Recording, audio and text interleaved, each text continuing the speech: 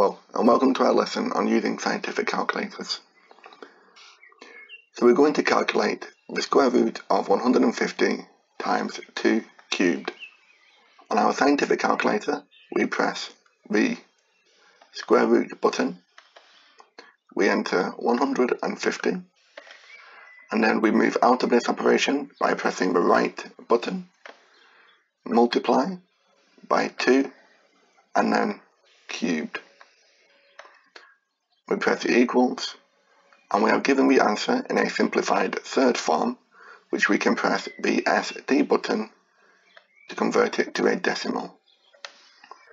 And that works out as 97.9822 decimal places.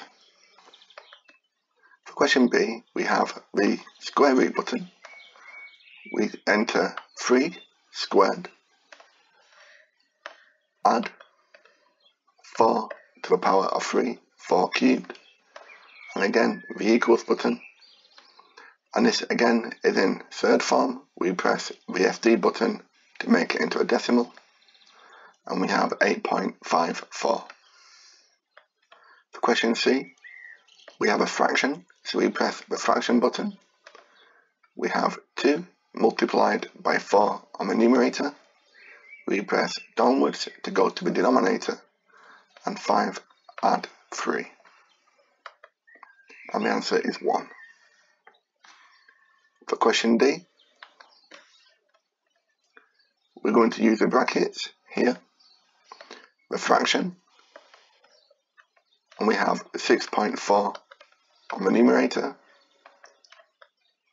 We press the down button for the denominator, and we have 5.2 multiplied by 6.7 and then we get out of that fraction we close the brackets and we press the squared button.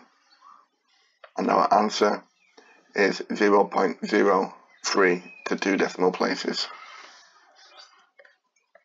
And finally for question E we have the square root and within our square root we have a fraction.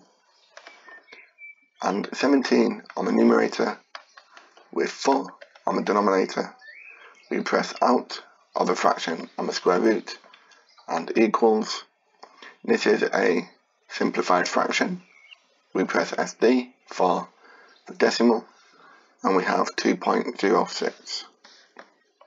Thank you for watching and I hope you found that useful.